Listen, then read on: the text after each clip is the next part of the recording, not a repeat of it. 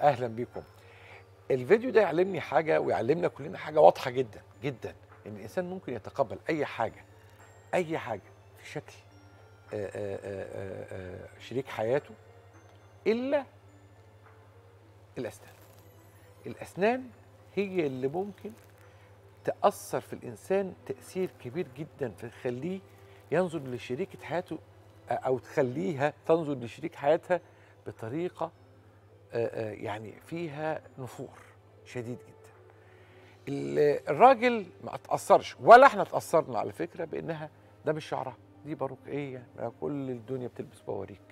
وشعر ناعم خشن آه شعر curly خشن في ناس بتحب الشعر في قصير طويل في ناس بتحب الشعر القصير. الرموش مش ما فيش رموش في رموش مكياج ما فيش مكياج. المناخير طويلة المناخير قصيرة المناخير فيها سنه همب في يعني أنا واحد من الناس بحب المناخير اللي فيها همب حتى في الستات. بحب الست اللي مناخيرها فيها بتشدني بحس إنها اتراكتيف إلا السنان. أول ما حمل السنان هو ردود فعله عادية في الآخر. لكن أول ما شال هو السنان هي عملت إيه؟ أغمى عليها. أغمى عليها صدمة. السنان يا جماعة.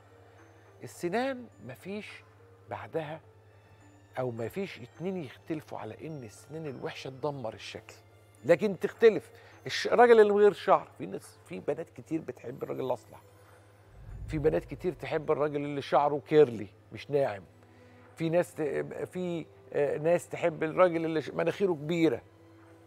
في ناس تحب مثلا البنت اللي, اللي التخينة شوية رفيعة شوية. مش فارقة. دي أذواق. إلا السنان. مفيش ذوق عليه. كله كله متوحد فيها كله متفق على إن السنان لازم تكون كويسة. وإحنا اللي بنبوظ سناننا يعني إحنا بناكل سكريات وحلويات بالهبل وبناكلها في أي مكان ومن غير ما نغسل سناننا بعديها. لأن الحلويات والسكريات فيها عيب إنها بتاخد بتتاكل كتير عند الناس يعني في الزيارات. فمش هتقوم تغسل بقى اسنانك بعد ما تاكل السكريات والحلويات. أنت أكلتها وقعدت. زي ما انت. فبوظت سنانك. إحنا اللي بن بنكتر من مشروبات الصودا والمياه الغازية. يعني بنبوظ السنان. إحنا اللي بن بنكز على اسناننا ما تلاقيش يا أخي الشعب بيكز على اسنانه قليل قوي حكاية الكز على السنان دي. إحنا في مصر الناس ها ها. حتى ده يعني التمثيل كله كز على السنان. إحنا اللي بنكت... بنكتر من شرب العصاير المعلبة. أكتر شعب بيشرب عصاير معلبة. كل ده بيضر السنان. ولذلك أنا بقول لكم السنان أصبحت في مصر مهملة بشكل كبير رغم التقدم المذهل في عالم طب الأسنان لكن برضه لسه في نسبة كبيرة من المصريين ما اهتموش بأسنانهم بالشكل الأكمل وما اهتموش بالصيانة. في شعبة كده من الناس طلعت طلع صرفت شوية فلوس عملت سنانها شكلها كويس وما عملش maintenance ياخد العربية فيها سنة ال1000 وسنة ال10000 وسنة ال100000 دي العربية الحديد. فاسنانك ديت لازم يبقى فيها سنة ال1000 وال10000 وال100000 بجد صحيح. لازم صيانة باستمرار. ال maintenance الاستمرار الصيانة. النهارده عنواننا استمرار الصيانة. عنوان من العناوين المهمه اسمحوا لي نرحب بضيفتي العزيزة التي تبدأ في حوارها وتسعدني دايما بهذا الحوار دكتورة إسراء السعيد منوراني في الناس الحلوة. ميرسي يا دكتور أيمن ده نورك. قبل ما أبدأ هل الناس اللي أنا بحكي عليهم دول بتوع الايه ال maintenance بتاع الصيانة اللي هي استمرار الصيانة دول أكيد recorded عندك. طبعا الناس دي reported والناس ديت فعلا بيجوا الناس بتتعامل مع أسنانها إنها once and forever وده مشكلة كبيرة جدا. كل واحد بيجي يعمل حتى الابتسامة هوليود يعمل الحاجة يطلع مبسوط بس برضو الفكرة بتاعت إن إحنا نروح لدكتور الأسنان وإحنا ماشيين على رجلينا كده لا هي الناس لازم تروح لدكتور الأسنان وهي شريط المسكن ما بتشالش من جيبهم. أو يكون جايب الصدفة لكن يعني جايب ابنه مثلا جايب مامته جايب مراته لكن إن حد يروح لدكتور الأسنان كده بكل بكامل إرادته لا ده مش موجود مش ريبورتد في في الشعب المصري عندنا. دايما الواحد يروح بالعصاية. عصاية القلم عصاية القلم اللثة من أكتر الحاجات اللي بتنضر اليومين دول على فكرة اللثه حالة مرضية مهمة جدا. هبدأ الأول بالمشهور قوي اللي هو نزيف اللثه الناس بتشتكي منها. موضوع اللثة ده يا دكتور أيمن موضوع كبير والمفروض إن الناس تستوعب أبعاده لأن الناس دايما شايفة إن اللثة دي حاجة سكندري أو حاجة مش ذات قيمة وبيهتموا جدا بالأسنان. هو إحنا طبعا أكيد بنبقى مبسوطين إن حد يهتم بأسنانه بس اللثة حاجة مهمة. اللثة ديت هي ببساطة هي الشاسيه اللي شايل الأسنان دي كلها. لو الشاسيه ده جرى له حاجة تاكد إن اللي متشال ده هيقع مش هيعيش. ف إن إحنا نروح للدكتور ونهتم بال- بالتنظيف بتاعنا وإن إحنا نهتم بتنظيف الأسنان في البيت ده موضوع الناس بتكسل عنه قوي. وده برضو موضوع من أول ال- التربية من وإحنا صغيرين. دايما الناس اللي, اللي والدتهم أو والدهم بي بي الأطفال بيوضح لهم لازم نغسل أسناننا قبل ما ننام لازم نتمضمض كويس يجيب لهم معجين أسنان ب flavors يعني مثلا بطعم ال- الكولا بطعم اللبان بطعم النعناع بطعم وات بيكبروا هم مهتمين باسنانهم اوتوماتيك زي اللي, اللي بيعود أولاده إن هم قبل ما يناموا إن هم مثلا يغيروا هدومهم إن هم يقلعوا الشراب وات إيه هو العادة اللي بتعودها للطفل من هو صغير؟ لازم يبقى غسيل الأسنان كده. للأسف إحنا كشعب ما عندناش الموضوع ده مترسخ في تربية أولادنا.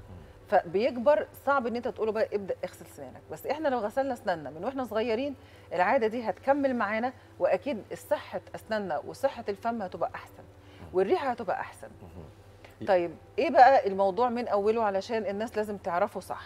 أول حاجة فرشة الأسنان نشتريها إزاي؟ فرشة الأسنان لازم تبقى soft ما ينفعش نجيب medium ما ينفعش نجيب hard لازم تبقى soft لازم تبقى حجمها صغير ما نجيبش اللي حجمها كبير قوي.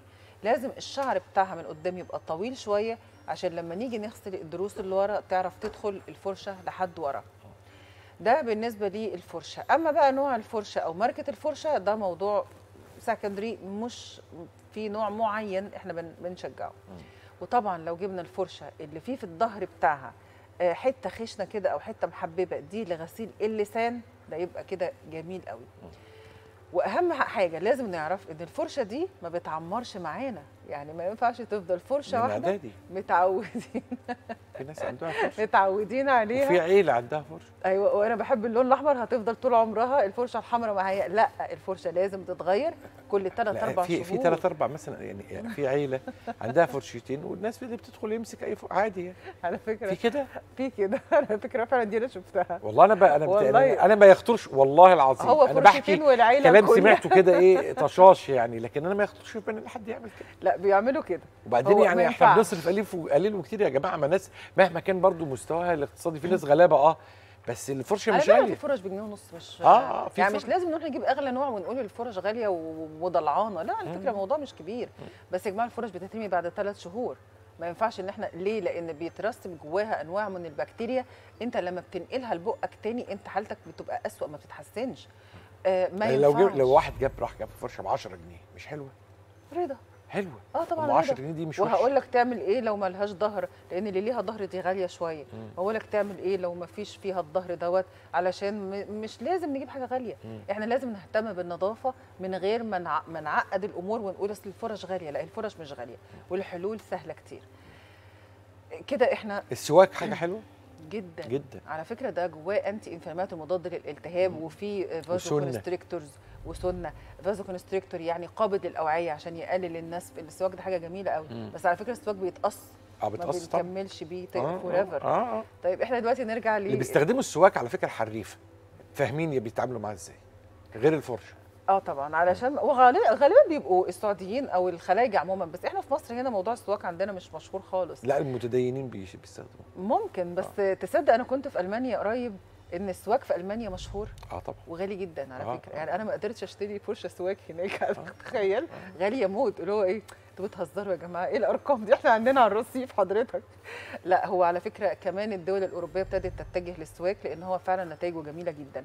بس هو لازم يتقص ما بنستخدمهوش على طول. وده بيحل لنا مشكلة إن إحنا نرمي الفرشة كل ثلاث شهور. فممكن نستخدم السواك علشان ما نرميش الفرشة أو عشان نرمي الفرشة. إحنا كده اتفقنا إن إحنا هنجيب فرشة لكل مواطن وإن إحنا هن هن هنستخدم أنواع مش لازم تبقى غالية قوي بس لازم إن إحنا تترمي سواء استخدمناها أو ما استخدمناهاش هي هتترمي علشان بواقي الأكل المترسبه جواها. دي لوحدها مصدر للإنفكشن ومصدر للبكتيريا. لو رجعناها بقنا تاني هنعمل مشكلة أكبر من المشكلة اللي إحنا بادئين بيها أصلا. طيب إحنا دلوقتي لو ما عندناش الظهر اللي بيعمل اللسان وبينضفه هنعمل إيه؟ هنلف على صباعنا حتة شاش أو حتة قماشه خشنه مش ليفة حو... مش ليفة حمى عشان دي. برضو سمعتها.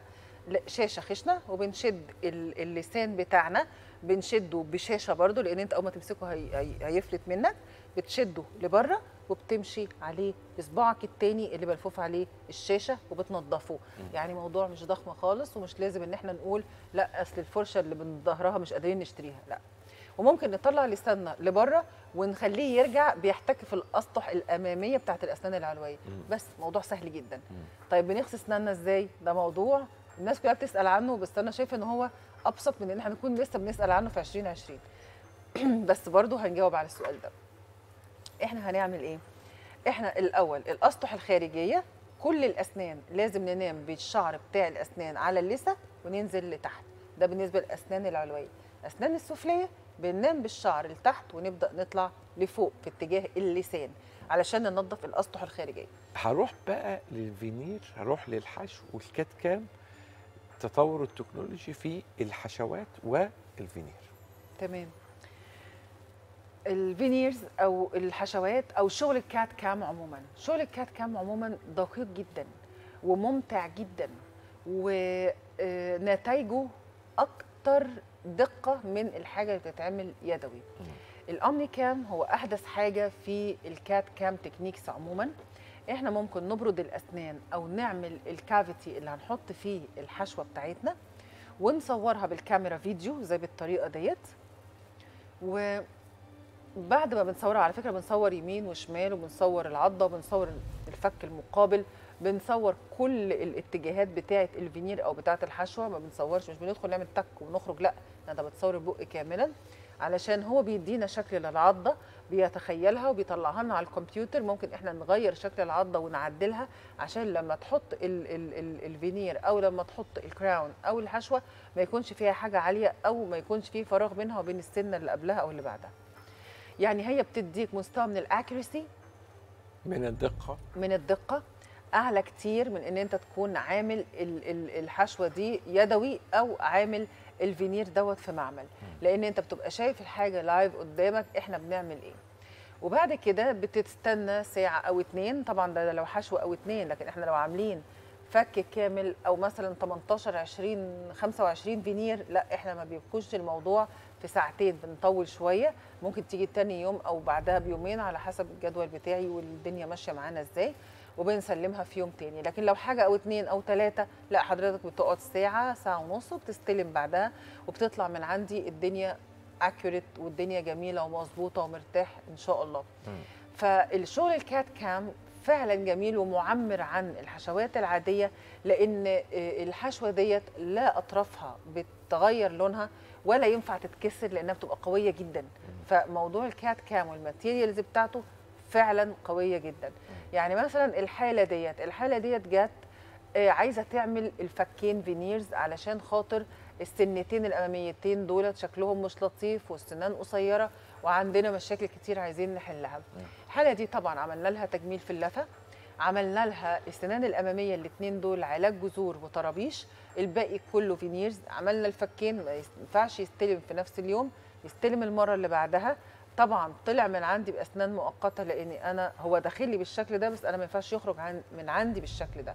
استلم أسنان مؤقتة يمشي بيها الفترة اللي إحنا هنجهز له فيها ال veneers طلعنا في الآخر الشكل دوت. أعتقد إن هو كان لطيف ومرضي جدا والحمد لله ال ال ال الحاجة ما بتتعدش الحمد لله وثابتة في بقه والدنيا ماشية كويس جدا إن شاء الله. تمشي الأمور كويسة جدا طبعا وسهلة جدا بس القصة كلها في إن إحنا لازم الحاجات الدقيقة دي تتعمل كات كام. ما بحبش الشغل اليدوي فيها ولا ذوق المعمل علشان تطلع بالدقة اللي حضرتك شايفها دي. التقويم دلوقتي في ناس كثيرة بدأت تلجأ له يعني بدأت بدأ يرجع التقويم لتواجده مرة أخرى على الساحة ويبقى له مريدينه هل هو هو- ولا ال situation بتاعه لا ال situation آه. بس هو عموما ما حدش بيميل للتقويم لا دلوقتي ولا من قبل كده لأن مم. الكل بيقول لك أنا مش حابب أمشي يعني كان قبل كده كان زمان أكتر كان التقويم غالي شوية فكانت الناس الأغنياء اللي بتعمله فكان بيكون مظهر من مظاهر الغنى. زي الموبايل الحديث زي ذهب زي whatever. بيحطوا براس braces آه وبيحطوا braces ليها شكل ونجوم وكلام من ده. دلوقتي بقت الناس تهرب من التقويم للأسف لأنه بياخد وقت. يعني مثلا حالة زي كده الحالة ديت عملت تقويم. الحالة ما خدتش وقت. الحالة دي خدت سنة سنة وثلاث شهور. ده بالنسبة لنا ولا حاجة. بس الناس بتحسبها إزاي؟ آه الناس دايما مستعجل النتائج اللي هو طب انت صبرت 30 سنة؟ ما جاتش بقى على 31 سنة. لا أنا عايزة النتائج تظهر حالا. دي عملت تقويم أنا ما حبيتش خالص لأن العضة مقفلة. الحالة ديت في أسنان بره وأسنان جوه دي مش الصح بتاعها خالص نعمل veneers ولا تركيبات. الصح بتاعها تقويم لأن المسافات اللي ما بين الأسنان الأمامية في حاجات في سقف الحلق في حاجات مش ظاهرة خالص في حاجات ما ينفعش إن هي تبقى جوه وأنا أركب عليها ما ينفعش. ما ينفعش أعمل فينير تخنته 5 6 مللي عشان أبدو بالس- بالسنان اللي بره ما ينفعش. ده ألف ب تقويم. وافق. رفض لازم لازم تقويم. آه، في حالات ممكن أقول لك لا اعملها فينيرز ونحل الكسر ومسافات قليلة. حالة مثلا زي دي دي عضة معكوسة. عضة المعكوسة بس بكمية قليلة وعلى فكرة ده راجل وسنه كبير. قدرنا نوصل لأحسن نتيجة ممكنة عشان ما يدخلش يعمل عملية وتبقى النتيجة مرضية. بس ده أخد وقت ده أخد سنة ونص تقريبا لأن ده راجل ثلاثينات مش طفل. فالتقويم ليه نتائجه بس ليه عيوبه اللي هي الوقت.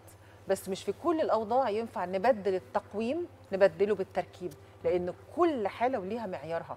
لكن تأكد إن لو أنت مستعجل وأنا ممكن أعمل بديل للتقويم بالتركيب أو بال veneers تأكد إن أنا هعملها لأني أكيد أنا مستعجلة على النتائج زي زيك. الحالة ديت راكب veneers مرضاش خالص إنه يعمل تقويم. بس أنت لو شايف الحالة مش معقدة قوي يعني تقريبا الحالة في الأسنان العلوية أكتر الحالة فيها آه، حاجات كتير مظبوطة. ممكن نظبط بس كام سنة في اللي قدام. فالحالة دي هو قرر يعمل veneers عملنا في الفك السفلي تنظيف للجير بس عشان ال stains اللي على أسنانه. جبنا نتائج حلوة في زيارة. اشتغلنا الزياره الثانية استلمنا. الدنيا مظبوطة وجميلة. حالة زي دي الحالة دي حبيبة. قلبي هي صعبة خالص. هي حبيبة قلبي. ربنا يديها الصحة وطولة العمر. هي فوق ال 60 أو فوق ال 65 آه، هي حبيبتي عندها عضة معكوسة نفسها إن هي تبقى شكل ابتسامتها حلو و... وعلى فكرة مش عشان هي 65 سنة المفروض إنها ما تكونش عندها مشاعر وبتحس إن هي متضايقة وعايزة تكمل حياتها بشكل حلو لا طبعا لازم نحترم السن لازم نحترم رغبة جميل. الناس آه. وده السن و65 اللي ينفع سنة مش كبيرة. فيه جوزت ولادها وخلاص مش كبيرة بقتش معاها 65 حد. سنة والله ما. كبيرة. والله في في. في ناس بتحافظ على نفسها تبان 65 سنة دي كأنها عندها 50 سنة عندها خم... آه، 45 سنة. بالظبط. فمبدأ إن أنا أكون كبيرة في السن وإن أنا أقول يلا خلاص اللي باقي مش قد اللي راح هو لو الباقي يوم معيش مبسوطة وأنا أنكد على نفسي ليه؟ لا يعني هي حبيبتي عندها فوق ال 65 على ما أتذكر. آه، عضة معكوسة. في الحالة دي صعب إن أنا أقول لها اعملي تقويم حقيقي. آه، عملنا veneers بس طبعا طلعنا ال veneers عضه معكوسة برضو ودي من الحاجات اللي هي مش جميلة في الكتب بس ما ينفعش إن أنا أقول لها في السن دوت وفي الوضع ده لأنها عضه معكوسة كبيرة. ما ينفعش في الوضع ده إن أنا أقول لها ابدأي تقويم عملناها وهي راضية بالنتيجة جدا. الحالة دي حالة فراغات. برضو وقته لا يسمح بالتقويم خالص وعايز كده كده يعمل ابتسامة جميلة عايز يعمل أسنان بيضه وجميله عملنا له فينيرز في الفكين. الموضوع اتحل في حقيقي دقايق. اللي هو قاعد مثلا ساعة ساعة ونص اشتغل راكب في ساعة ساعة ونص. الموضوع لطيف جدا. التقويم برضو جميل بس أكيد مش في ساعة ونص وفي ساعتين بناخد شهور. فالنتيجة ديت جبناها في وقت قصير جدا وهو كان راضي ومبسوط وحابب إن هو يعمل كمان تبييض في أسنانه. فالتقويم هيحل مشكلة الفراغات بس مش هيبيض السنان. فهو قال لك كده كده أدام كده كده هعمل فينيرز أعملها بقى من دلوقتي. غسيل السنان بالفرشة بيقلل فرصة السكر بيقلل فرصة مرض السكر. آه، علشان خاطر أكيد إحنا بنحافظ على الأسنان بتاعتنا بنقلل البلاك بنقلل المكان بتعيش فيه البكتيريا بنقلل بن بنخلي مناعة جسمنا آه، أفضل فأكيد بيبقى نبعد عن أمراض كتير. الالتهاب بتاع السنان بيلعب دور كبير في تطور مرض السكر. طبعا وجدوا إنه في علاقة بكتيريا. بين التهابات الأسنان والبكتيريا اللي بتيها بتروح على البنكرياس تعمل التهاب فيه بوظ. والصمامات بتاعه القلب على فكرة والحاجات. دي الناس إحنا مش بنقول كلام. مبالغ فيه آه، آه. إحنا عندنا نوع البكتيريا اللي بيعمل خشونة في صمامات القلب بي... وبيعمل بيعمل مشاكل. بيعمل مش خشونة بيعمل ال- التهاب في. التهاب التهاب وتليفات. في الصمامات بيعمل التهاب بيعمل مشاكل في صمامات. القلب بيعمل التهابات في مفصل مفصل إيه في صمام القلب ده النوع البكتيريا دوت هو اللي موجود في الجير. آه. فتأكد إن أنت لو شلت الجير هتأكد هتقلل المشاكل اللي بتحصل أو هتحصل في القلب. وأرجوك لازم تبلغي لو أنت بتاخدي دواء الغده الدرقية اللي هو الألتروكسين لازم تبلغي دكتورة الأسنان بتاعتك عشان ده بيناسب نوع معين من التخدير. يا ريت. آه. واللي بياخد اسبرين هو مريض لزوجة مش سيولة عشان أنا طول النهار بشطب على الفايلات وبكتب يا فندم دي اسمها لزوجة مش سيولة.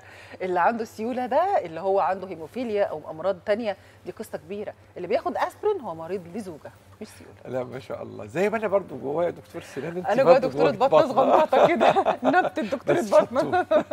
نورتيني. ميرسي يا دكتور أيمن نورك بحوارنا كالعادة مع ضيفتي العزيزة الدكتورة إسراء السعيد كانت في حوار ممتع للغاية في الناس الحلوة. خليكم خلي بالكم من سنانكم خليكم مع الناس الحلوة.